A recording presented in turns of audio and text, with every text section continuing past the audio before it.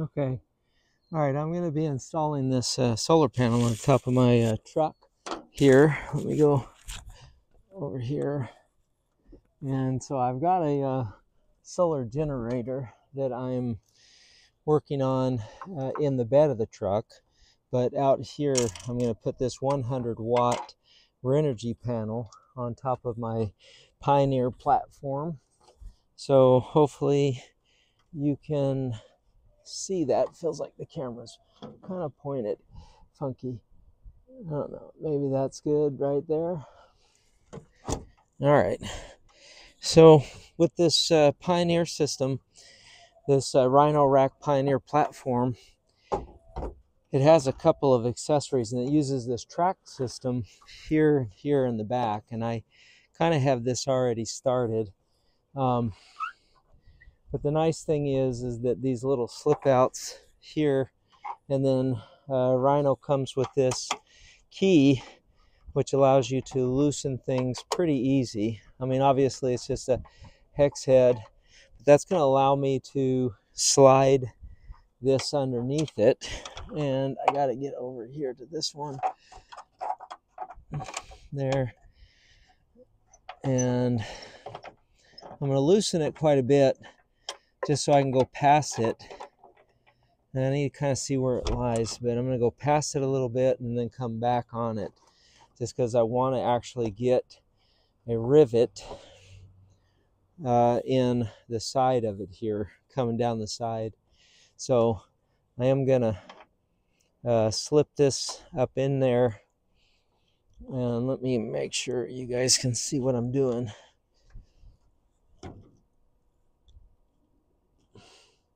Okay, I feel like that's going to be better. So yeah, I've just got this, uh, I've got this loose and I'm going to use the, the lines on the truck and the lines on that to make sure I get this square. Not that that really matters because obviously it's not going to be seen by anybody, but I would know it. I would know that it's not square. So I'm going to take the time here to make sure I get this panel squared up. And I'm going to go ahead and cinch this a little bit onto the panel just because I want to make sure that A, we have it nice and snug when you're going 70, 80 miles an hour down the freeway. You don't want to have this thing come off, uh, cause a hazard to someone else or yourself or damage the panel, least of worries, but have it come off and actually strike another vehicle or something like that. So that looks pretty good using that line there. So I'm just going to snug these down along the top. And that, yeah, that seems to be good there. Okay. All right. So now I know that that giving you that front windscreen like that. Now this little trim that goes in here is really just to help quiet everything down. The less gaps and stuff you have for wind to whistle through, the better. Um, so I know that's kind of the purpose of that. Not that it would add any weatherproofing because it won't, but it will definitely provide a little wind no whistling and stuff. Okay, so that's that part's done. What what I want to do was just to make sure there's nothing going in the side. Is I'm going to put a rivet probably just right here. That's a little little less than halfway. I guess I could do two, but I'm trying to just make sure nothing can come along the side and, and whip it up uh, to to blow it up. So so I'm gonna bring you over here to have you see that. Okay, so now I kind of got you right in front of me here, but I think I'm just gonna put a put a rivet right in here. Um, and I can't remember what size am I to do. I think I'm to do a probably that 3 16ths yeah. So we're going to go with that. And I'm not too worried about drilling a hole A in the panel and B in the uh, in the roof. Um, and that's pretty much all it's going to take is just a little hole like that. And then since that's going to be a shallow one I need to pick a shallow shallow shallow 3 sixteenths that'll probably do it there. Let me see. Mm, hole might need to be a little bigger or deeper one or the other. Let's see.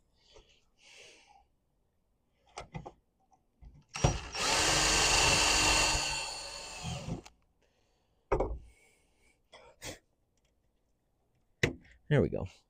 Okay, I actually want to put a washer on this first anyway to help increase that surface area there. And then I'm just going to cinch that down. Okay, so that's going to provide some lateral support in addition to the front support that I have there. I'm going to turn around and do it here on the opposite side. So let's go ahead and shut the camera off for a second, turn it around, and we'll pick right back up. Okay, so I think we're good right there. I'm just going to kind of repeat the process just right here.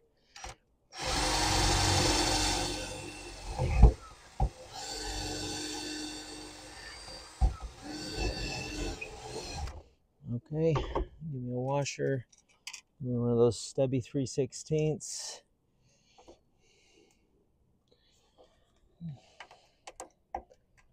Okay, we'll go ahead and rivet that down. If you don't have a rivet gun, I highly, highly recommend it, uh, especially for metal works like this. You just you, you don't know how many different times you'll actually use that when you have it. So anyway, and then uh, to get them out, all you have to do is drill that center and they're out. So that's it's not a permanent situation, although it's a lot more permanent than a screw that could back out or rattle out. Uh, so anyway, I like it for that. Okay, so the back's a little different. It, it's it, it took a little more doing uh, simply because the the way that this panel is designed it's a it's a flat panel that actually will flex. It won't bend in half or fold or anything like that but it will um, you know it will uh, bend and it's flexible. The problem is is that this little uh, th- that's where kind of the electronics meet everything there. And i um, you know it, it doesn't allow you to get a lot of purchase on that on that panel because of that because you're you're um, you can't slide this same uh, bar over top of it like I did for the front. So what I did was I'll move this back a little bit so you can see I cut this piece of plastic here.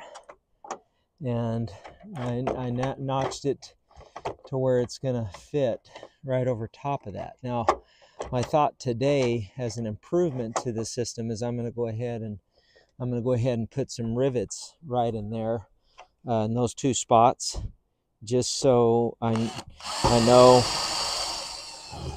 it's not going to go anywhere.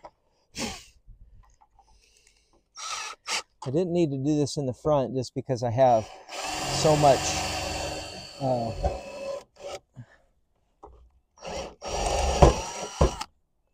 I have so much space in the front. It wasn't necessary like that here in the back.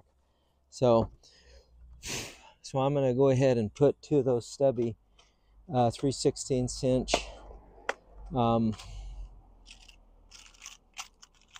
these guys in those and then that will and I and I you know to be honest with you I could probably end with that I probably don't need the bar on there, but I think it, it'll just be more uniform that way.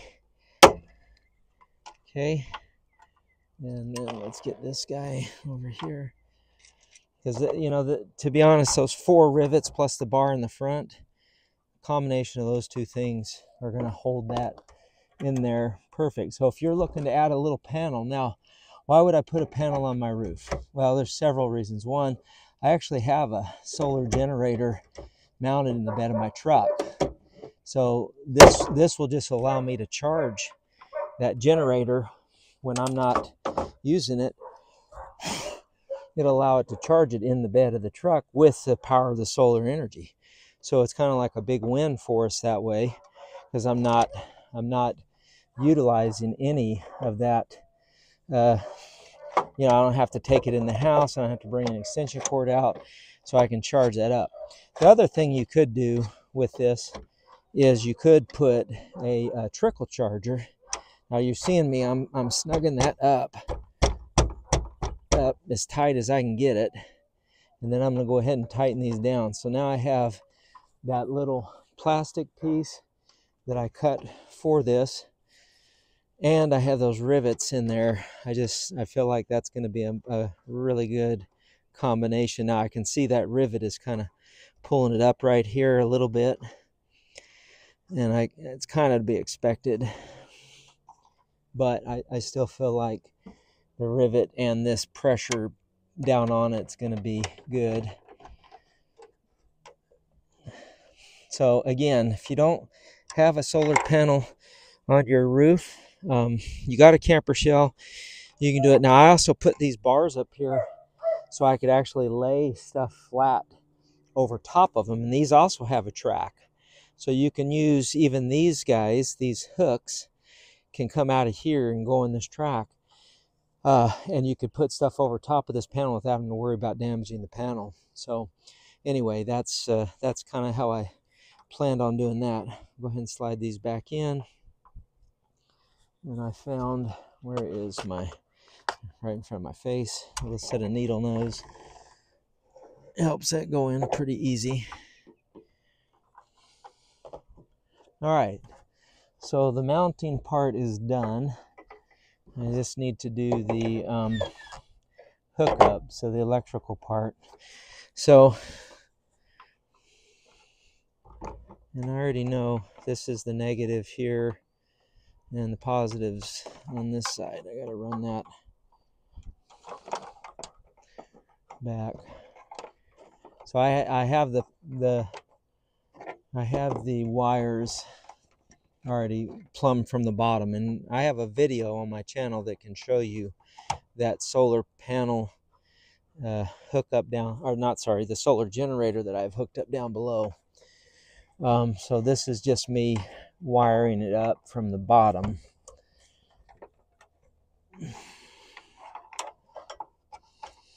Okay.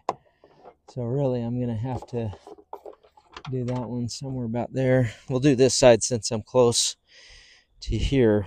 And let's just make sure I have the camera set up. Looks like looks like we're on it. Let me see if I can see that. Yep. Okay all right so we're just gonna stay live I'm not gonna cut the cut the uh, channel so I can get these two together really right about there I don't have much room to spare do I so I might need to see how much of this I can save. Got a crimp right here. Yeah, it's right through the middle of that.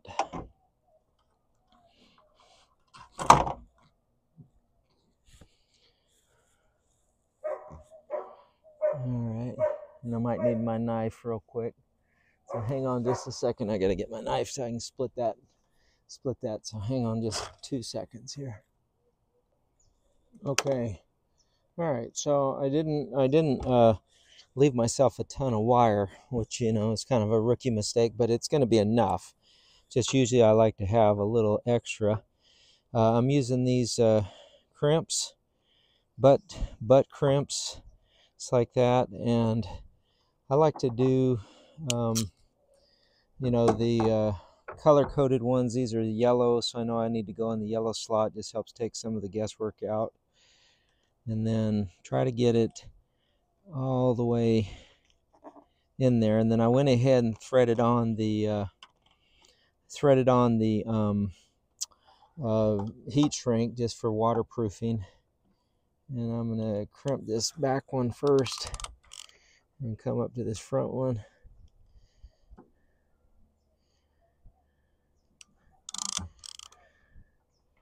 And even go right here in the middle. All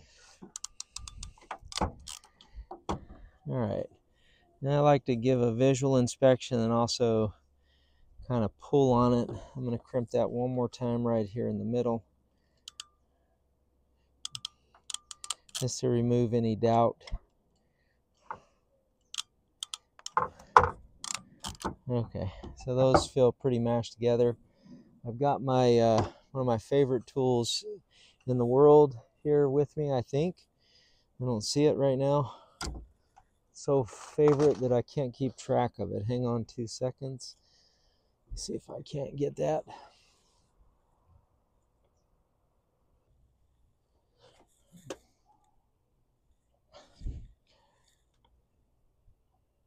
Okay, all right, so I've got this uh, little mini blowgun. It's a, a lot of different things in one, but it will do heat shrink like nobody's business. Uh, flameless, which is nice. So it's just the heat. And these crimps that I use have their own bit of heat shrink on them. Uh, so there's that. But I always like to then go over top of them, especially if I'm in an outdoor situation, you know, especially up here on top of the roof rack. I know this is going to get wet. And if I can uh, do any measure of prevention, keep shorts and stuff out, plus uh, clean it up a little bit. Um, so you can see that thick, thick, thick coat of that. Now you almost have to wait just a second to let that cool because if you try to bring your heat shrink up, it'll actually shrink on it where it's hot. Um, I think we're good. So I'm going to bring that one on first. I'm only going to go about three quarters of the way because then I've got this other one that'll go over that. So you can see I get a nice tight seating on that. Feel good about that being watertight. Then this one I can come this way, just the opposite direction, go over top of that and shrink that down. So again, really triple protection. Two heat shrinks on that and the crimp itself has its own heat shrink. So let's go ahead and move to the other side uh, where we can do the positive cable. And away we go.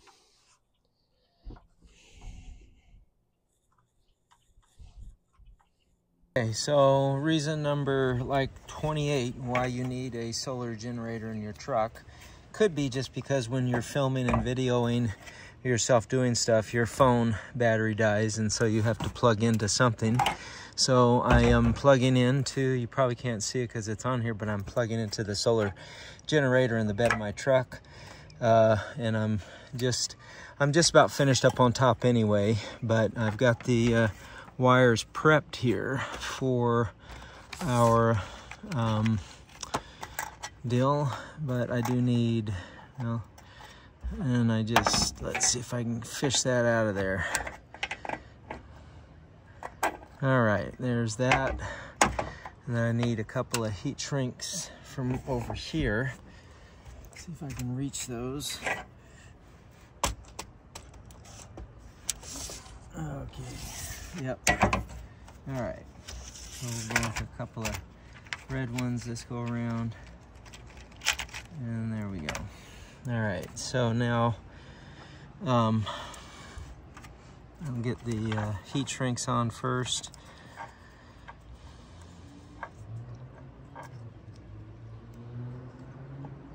Okay, get it on this black wire here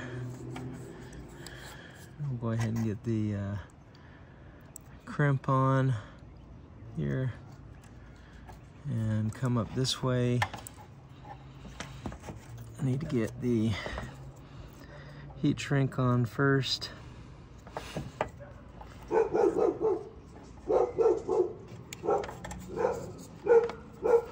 Okay. All right. And then we'll come back through here. Get that crimp started. There. Once again, we're going yellow.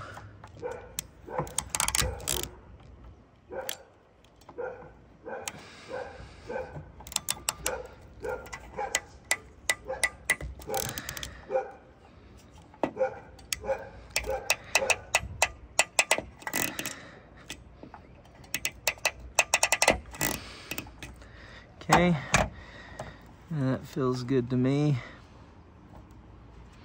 And then we'll go ahead and get our heat shrink started.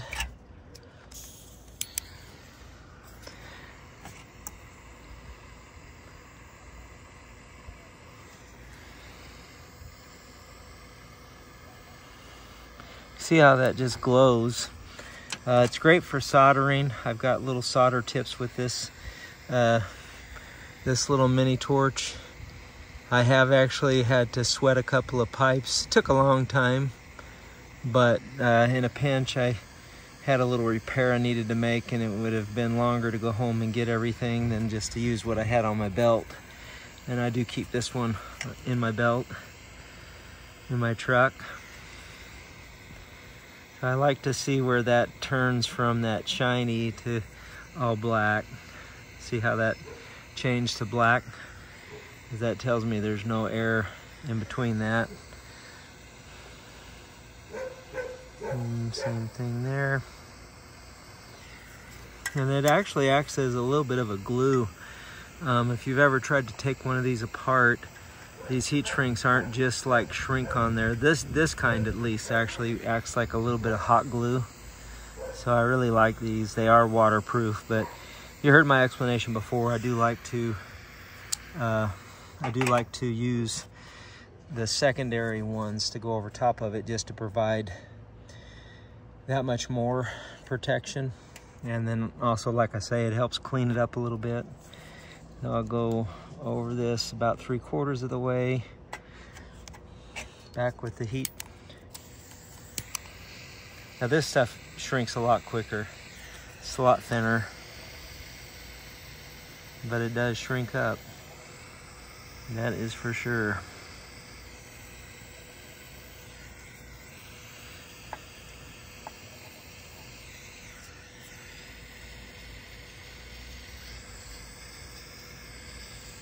Okay.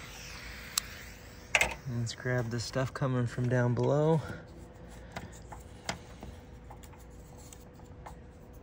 Same thing, I'm gonna go back over it three quarters of the way, right about there. Halfway maybe. Straighten that out a little bit.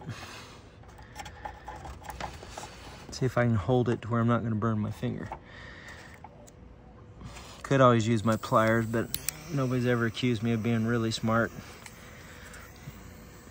especially not my wife.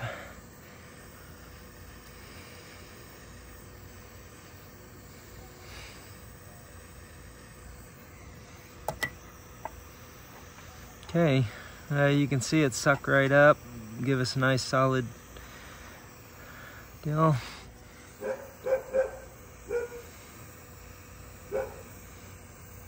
All right, I feel like that's good.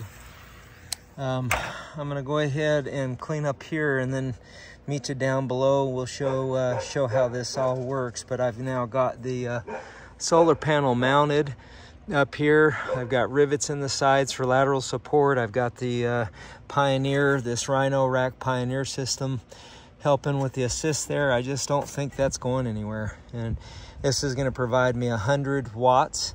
Usually pushes about five amps of power which means I can charge a 100 amp hour battery in a day up here, especially in Arizona. So uh, look forward to that. I'm gonna get down here and show you the solar generator will be done for the night.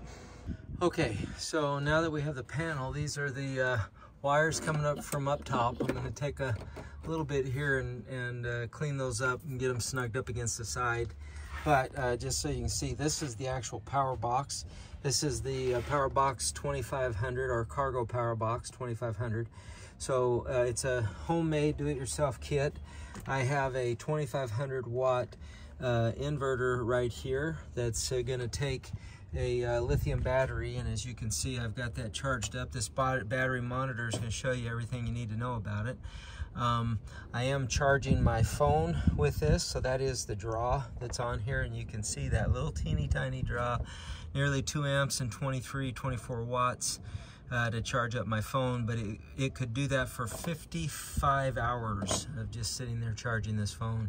So why do you want a power box in the back of your truck? Well that's just one of the reasons. I have several uh, power tools back here, compressors. I have saws. I have in my toolbox here, I've got multi-tools, all kinds of stuff that I literally can run and use my uh, tailgate as my workbench. Not have to worry about being indoors, not have to worry about finding an outlet. It's all right here. So I built this uh, solar generator to have in the back of my pickup truck. I've got it secured here to the bed uh, with a couple of uh, sheet metal screws and powered up by that uh, solar panel on top. That's just going to help juice it up, uh, keep it going. On the inside here, um, you can see that's where I have the charge controller, that uh, Voyager charge controller in there, and then I've got this uh, lifetime uh, this is a mini edition of their 100 amp hour battery. Um, it's it's uh, all in there inside this uh, junction box.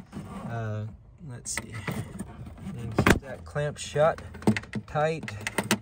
And then uh, I have the inverter mounted on the outside because that's what's going to get hot uh, when you're running things. So anyway, that's why you want it. That's why you want the panel. This just gives you a lot of possibilities of things that you can do with your uh, power box. I took it out in the desert. We watched movies using a projector, uh, all that. So, you know, all kinds of fun that you can have. Really anything that you need to power up with a power up to 2500 watts you can do that with this so anyway um, hope you enjoyed this install of the panel um, I have several installs and do-it-yourself projects on the channel, so please feel free to surf around, like and subscribe, and share as many videos as you care to do. Appreciate you watching. Catch you next time on Geoff's Gadgets and Gear. Goodbyes.